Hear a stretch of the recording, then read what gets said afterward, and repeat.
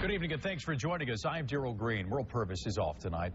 The two young South Memphis boys who raped a toddler faced a judge for sentencing today. And while they did not get jail time because of their ages, they were taken from their homes to undergo treatment. Fox 13's Marcus Hunter attended the sentencing. He joins us now in the studio with all the details. Marcus? Yeah, Gerald, the mother of the seven-year-old broke down into tears in the courtroom when she was told by a judge that she could not take her son back home with her.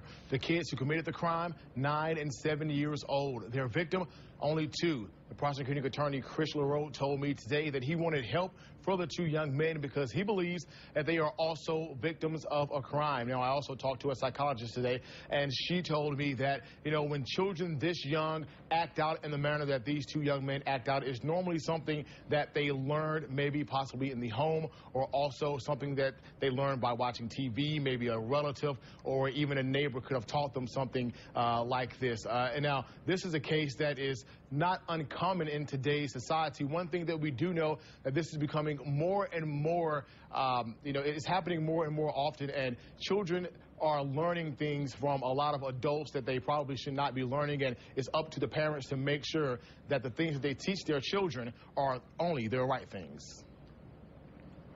Monday at juvenile court, two young boys, ages 9 and 7, were turned over by a judge to the Department of Children's Services after a trial last month determined they were both guilty of raping a two year old girl. Judge Dan Michael removed the boys from their home because he said their behavior was not age appropriate. He also said the behavior may have been learned at home. She came to court with her seven year old and she's going home without him. So I'm not sure there's anything I can say other than that. It's very, very emotional. Samuel Jones represents the seven year old. He admits his client could benefit from getting help, but believes taking the seven year old out of his home with his mother is not the answer. But this sort of thing is something that we see from time to time in our society, and uh, all of the professionals in, involved um, are challenged by it and I think they are trying to make the best decision that they can. Psychologist Dr. Charlotte Freeman has worked with children for more than 15 years. She says it's not uncommon for young children to be curious about their body and the body of others. As children grow, they may encounter and engage in sexual play, but as they get older, when we look at children who uh, have an age gap of more than five years, then we start to consider other issues in terms of what they've been exposed to, maybe have they been perpetrated on. So children will have sexual play, but as they get older and the dynamic is different in terms of their age, then we start to consider other avenues. But she also says when it comes to the act of rape where penetration is involved, there is when it's a serious problem. That's when you really should be concerned, is when you see children who are inserting objects into other kids, um, when you see um, where there is, um, you know, constant touching of other kids. Um, that's when you should really be concerned. Freeman also told me today that because the victim was only two years old, it's unlikely that she will have any memory of the incident ever happening. Daryl?